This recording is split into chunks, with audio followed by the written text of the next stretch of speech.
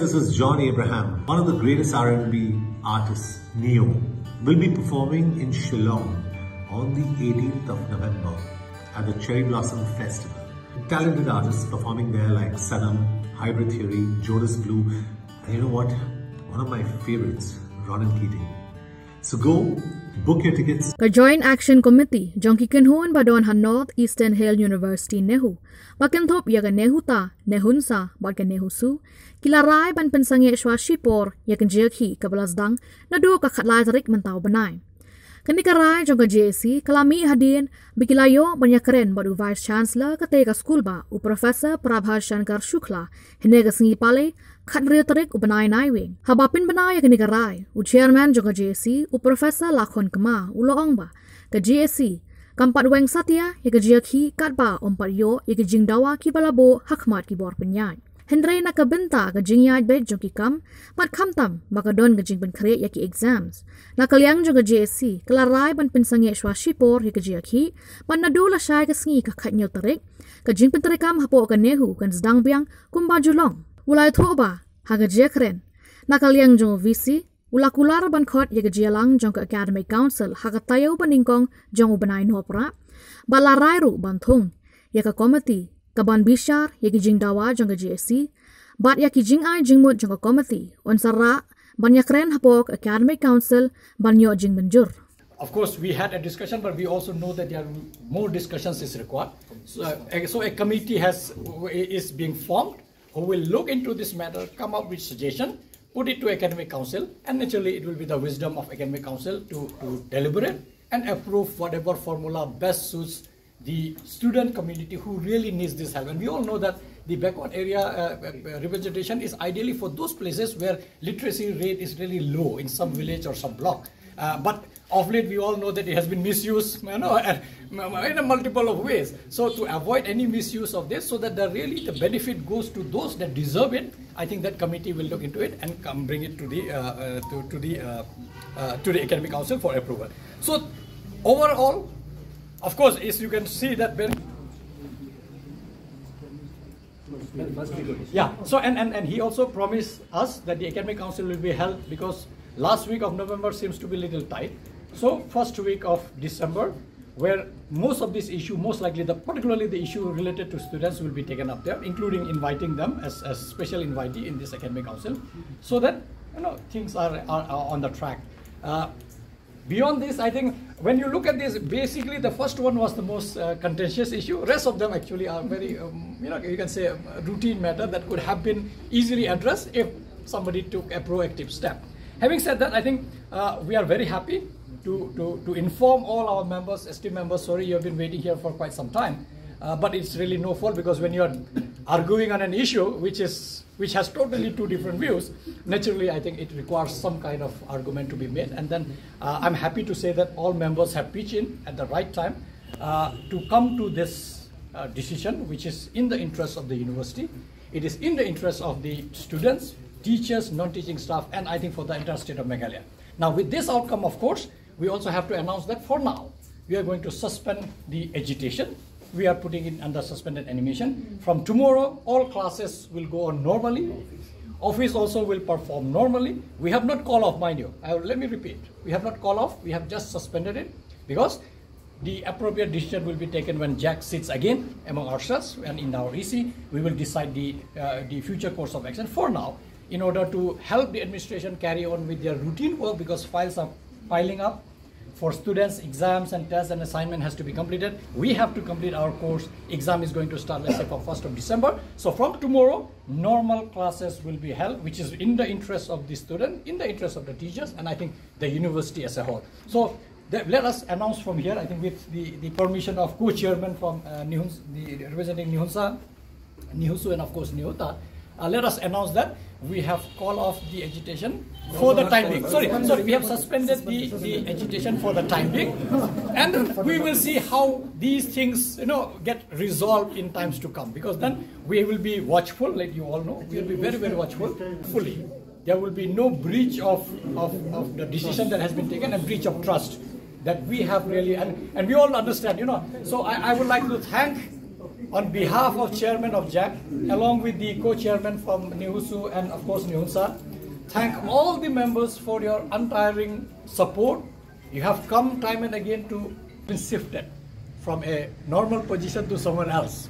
But it is there, it's there, and, and some update is going on, which is perfectly okay because uh, some ordinance are redundant, we all know. But the Nehu Act statutes are, are permanent, so no change there. But it is available and we confirm it's inside. The holding of regular convocation has also been addressed very seriously, and we, we have impressed upon that there should be a calendar. It should be a gala event for the university like we used to have earlier. For this time, indeed, he is waiting for the uh, President of India's uh, approval, which is neither received as uh, as except the neither the consent was given nor the rejection was given. So naturally, when you have uh, written to the President of India, you have to wait for the response from the Office of the President of India. So pending that acceptance or rejection or the consent from the uh, visitor's office, uh, that this year's convocation will depend on that. But we made it a point that for, for next time, because this, according to, of course, it also makes sense. This is the 50th year of our uh, foundation. So he said that we wanted the president of India, which is perfectly okay for this year. But we said it should not be uh, for all times to come because if we can get some Nobel laureates, some really great academicians, or even governor, we should not postpone our convocation. It should be a calendar, and I think that has been agreed upon. Coming to the holding of the uh, marking system, I think there is a committee uh, has been constituted. Uh, I think you all know that initially I was the chairman, but then there is a conflict of interest, and I wrote back to the registrar copy to VC that I cannot be chairman of that committee because we are heading this uh, JAC. So I cannot be chairman of JAC and also committee of uh, chairman of that committee who is going to find solution. So we said that then it is left to the students to suggest a name of a chairman who will chair the committee and that committee's report of course will be put to academic council and then academic council will approve it at due course of time. Coming to the inclusion of elected members Nehusu in academic council, I think this of course we all know those who are in academic council and those who are who are not, that this has to it, it will require the ordinance tweaking of ordinance a little bit on academic council composition. Because so far we have two students by merit.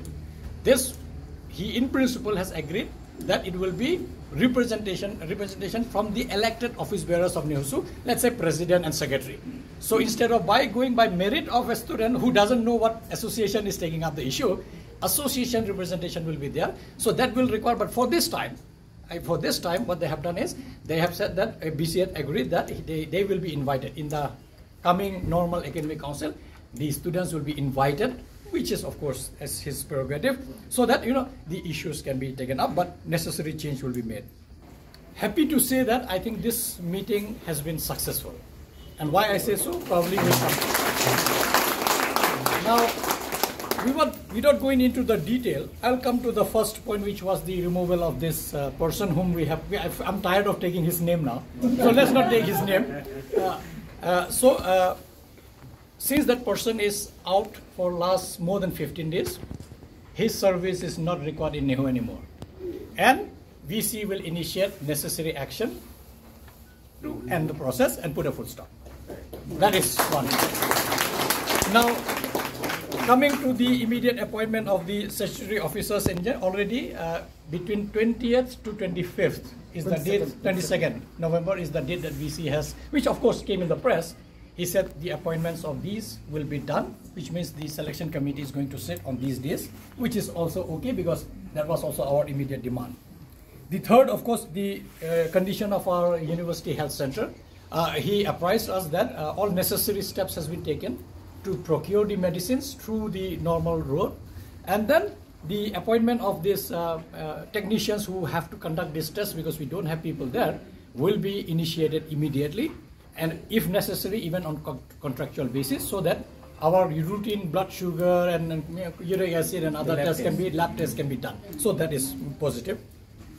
Coming to the relieving of technical and uh, teaching and technical staff from ministerial duty i think we have made it very clear that uh, academic is the priority and he agreed. I mean what is nice is he agreed that academic is the priority. So if anybody feels that there is your, your, it's hampering your job of teaching by being here you can very humbly write to the vice chancellor you will be relieved without any issue because like i said we can't force our member because you are appointed as a teacher if you think you are capable of doing teaching job as well as running administration here with one salary, if you can do two jobs, I think God bless them. I mean, that is how I would look at it. But it was it was a, a very clear that uh, nobody will be forced to do this duty. And very soon, uh, we are told that the advertisement for AR and DR is also going. So naturally, the moment you have AR, DR appointed, naturally, uh, their service anyway will not be uh, required.